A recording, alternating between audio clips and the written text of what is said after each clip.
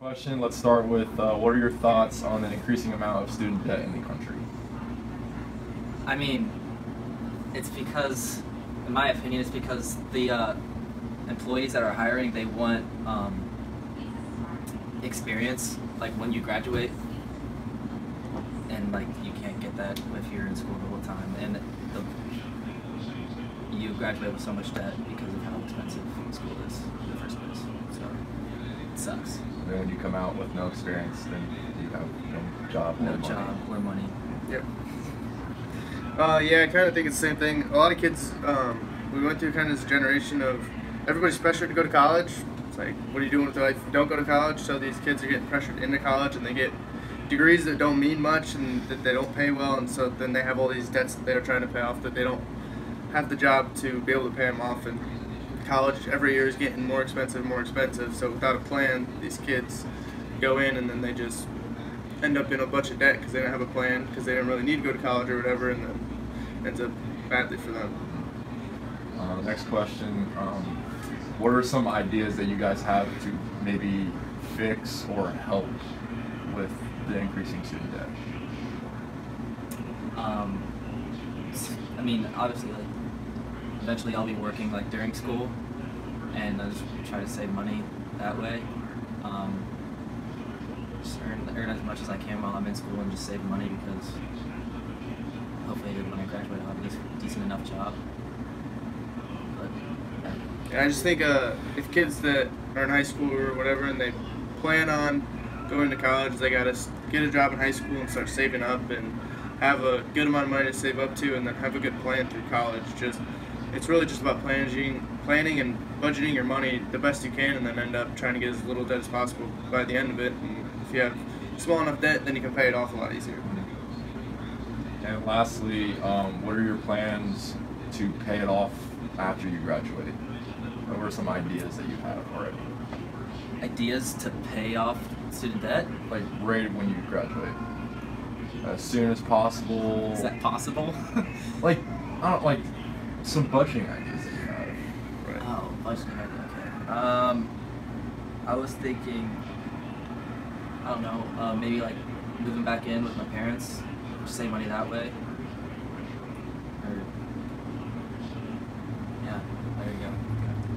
Yeah, my plan is just kind of uh, get a good budget set up for uh, myself and um, good payment plan for my college loans, and then pay it off as fast but as steady as I can to where I'm not, you know, being really poor every every week because I pay off my student loans, but I still have some freedom, but I'm paying off at a steady pace. is broken and on path for a catastrophic collision with the labor markets, potentially causing unrepairable damages to the economy and future generations. I'm not a college professor, I don't even work in higher education. I'm an entrepreneur, I'm an economist, and I'm here to tell you a story today. This story starts with cab drivers and firefighters. In 1970, roughly 1% of cab drivers and firefighters had a college education. Fast forward to today, and over 15% do with no major change in skill set over that period of time. This is education arbitrage. Education arbitrage means different things to different groups and people.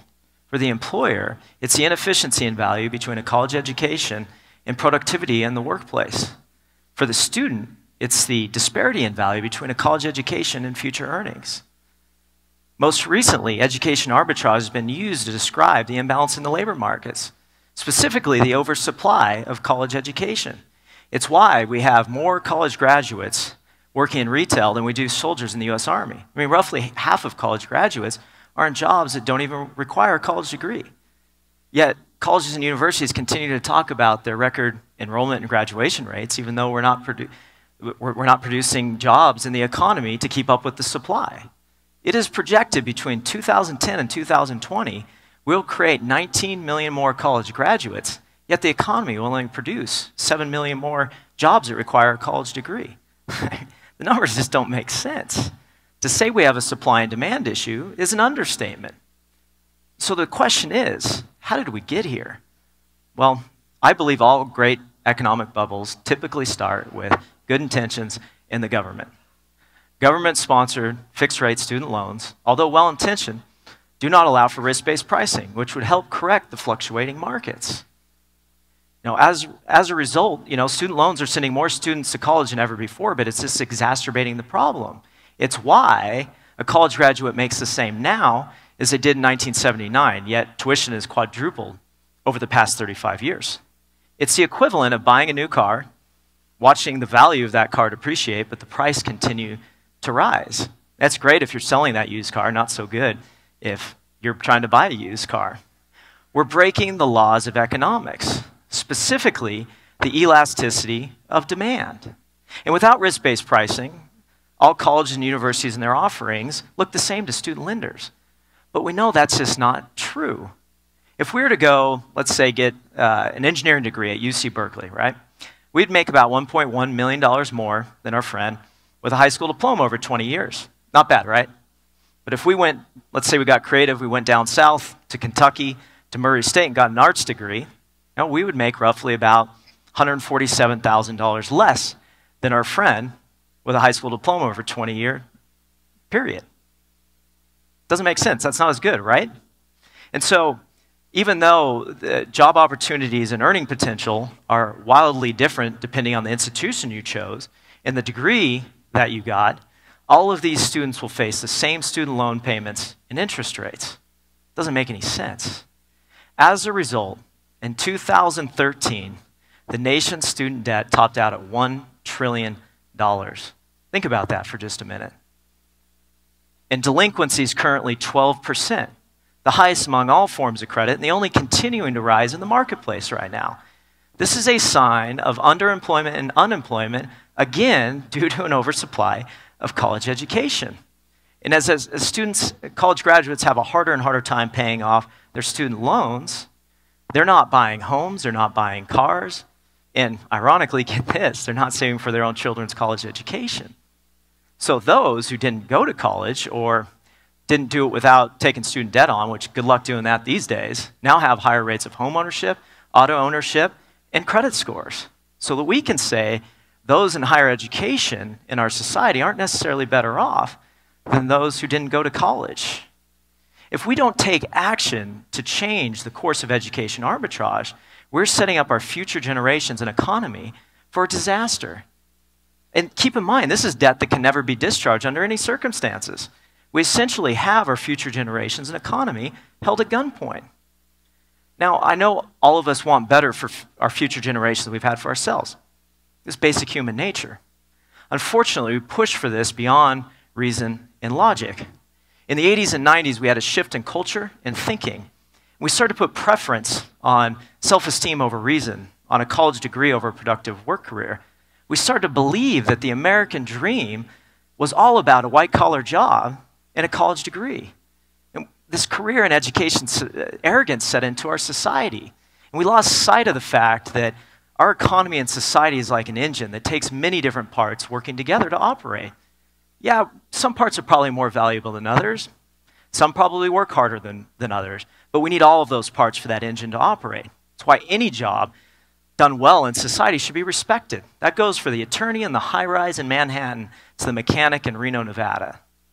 This shift in thinking in our culture has sent us down the wrong path. And the latter generations are going to see less opportunity for achievement and advancement than we did ourselves. This is a major failure on our part.